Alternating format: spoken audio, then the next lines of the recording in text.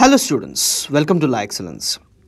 Welcome to day 8 Kalam program which is aimed at completing the syllabus and helping students to have clarity over the topics which they are covering.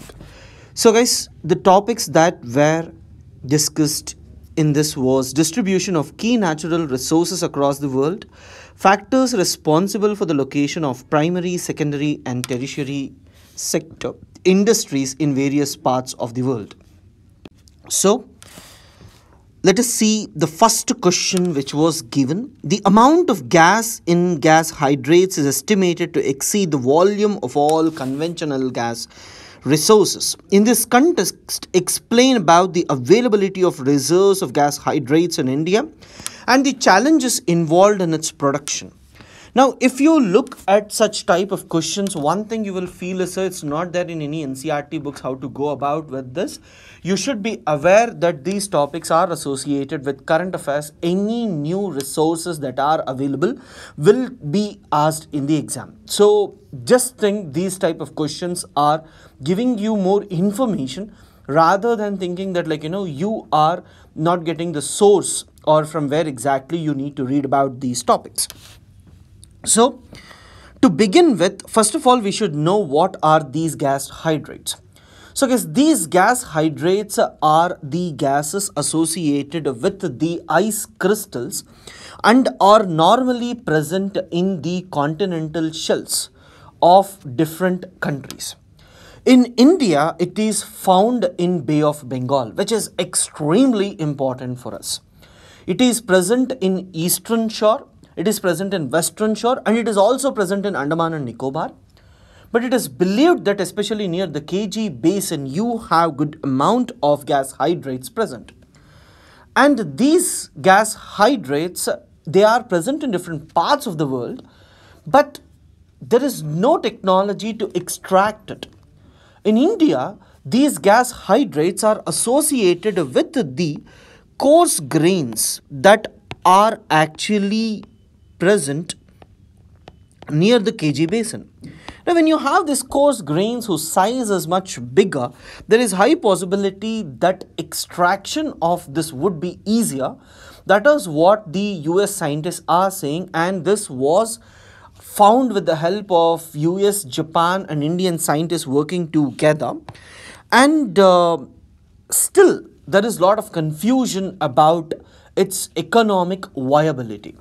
So, India, which is one of the major importing countries, oil importing countries, if it gets something of this sort would be extremely helpful, but it also requires the required technology for that to do so.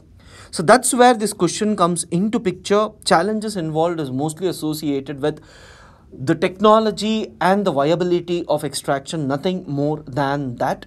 But it's more about the availability of reserves where are they present? As i told you it is present in the eastern western and andaman and nicobar regions.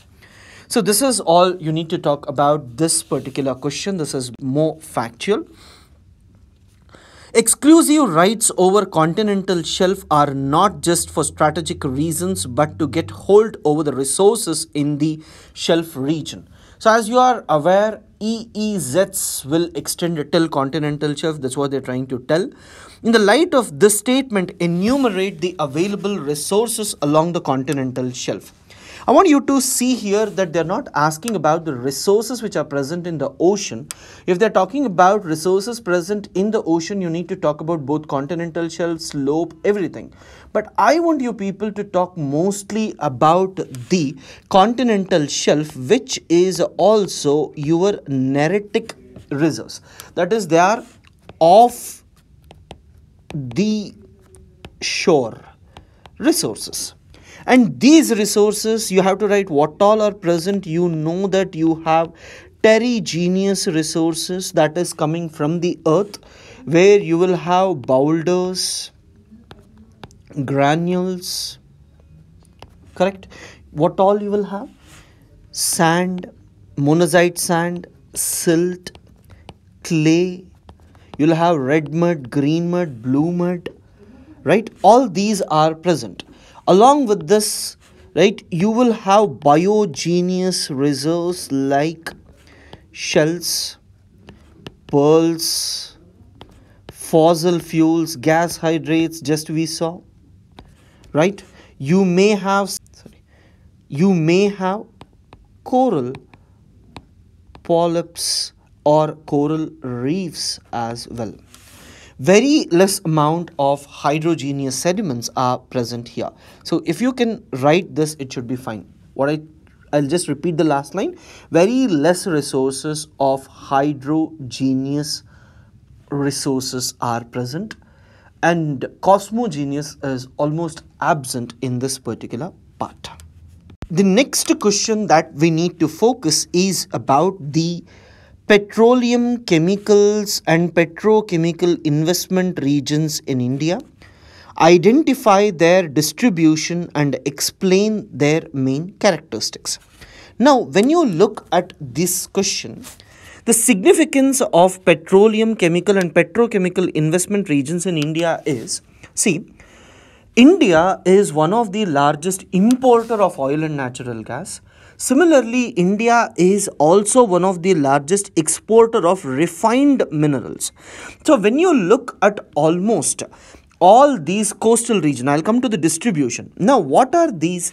You will be having right? Refineries present almost around all the SEZs that are there.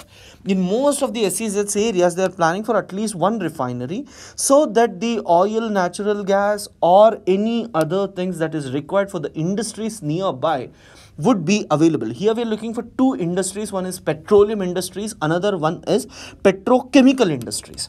And these will be associated with SEZs so government is telling either you will have this PC PIR industries separately which acts as SEZs or wherever you have SEZs you may get one or two such refineries right? And these refineries if we have it may help in providing the resources that are required for or raw materials required for other industries. And remember most of these industries they may be also known as anchor industries or base industries. Because once you have such industries around these industries other type of industries associated with this. For example chemical industries fertilizer industries right? All this will be surrounding these petrochemical industries we may also call them in geographical terms as growth poles or growth centers where along with this industries other industries may come up which keeps on expanding or spreading across. So this is one important thing that we all need to focus. And the next important thing is its distribution. Remember mostly it is associated with SEZs along with this you need to talk about Odisha you need to talk about Kolkata you need to talk about like you know Nagapattinam Chennai, all these areas where your traditional refineries are there. Now, when you just open where are the petroleum refineries present, you can clearly understand that most of the major ports are associated with petroleum imports. And in all those petroleum imports areas, you will definitely observe what we call as these industries. Fine. And it is mostly associated with allowing investments in such a way that every promoter who is there if he comes up with the refineries present i'm talking about their main characteristics right if the refinery is by what we call as like you know the person who is trying to promote it the external infrastructure and other things that are required like roads railway networks pipelines supply chains all this would be provided by the central and the state government. So it's a joint venture of private and public. State governments have to identify these and they have to give the viabilities of these projects as well Remember, these type of questions may come either in geography or economic geography. So just be prepared with both these types of questions as well. So guys, the next test would be on important geophysical phenomena such as earthquakes, tsunami, volcanic activity, cyclones, etc. And the sources are given.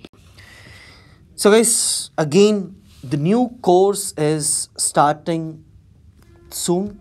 Prelims cum mains batch, optional batches, online classes, offline classes, tests, everything is available. Just try to make the best use of it.